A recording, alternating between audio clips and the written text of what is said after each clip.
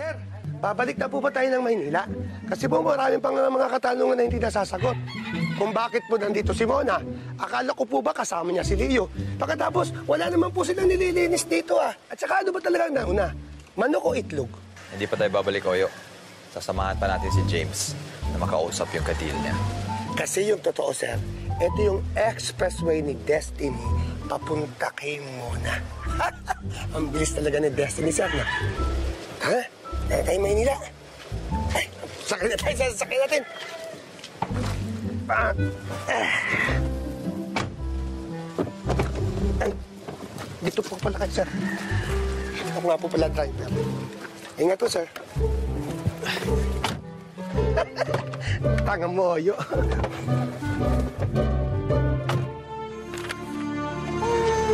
Pagbabagsakan nito, ano, wala to sa dating kliyente ni, ni boss. Marami na silang bagong dinideliveran.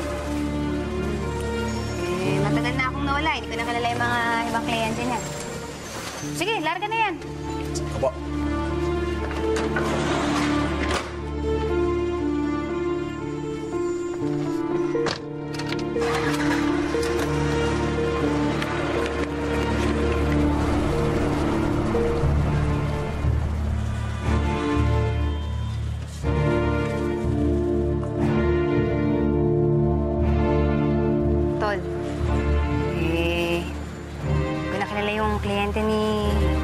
Supapi eh.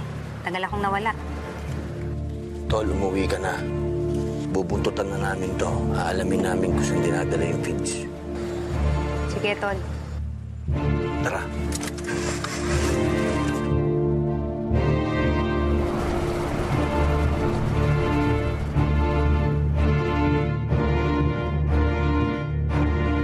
Sir, kaya pala tinawag na super karinderya sa Estrella to. Ang sasarap ng mga putahe.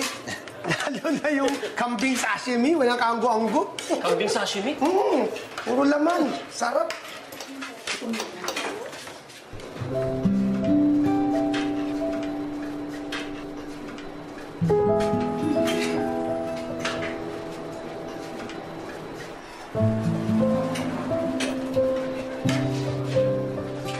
Mona, dito kayo.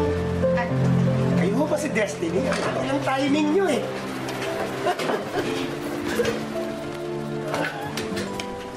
Nyo, dito lang sa karinderya na to na merong expressway, kahit hindi Bicol.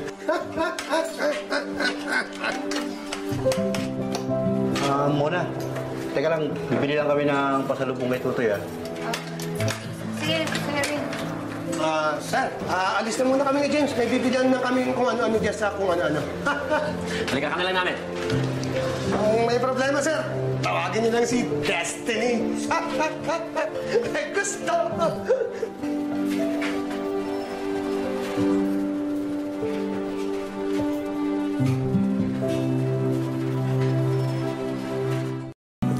For more Sana Dalawa ang Puso videos, just click the I button right here and don't forget to subscribe.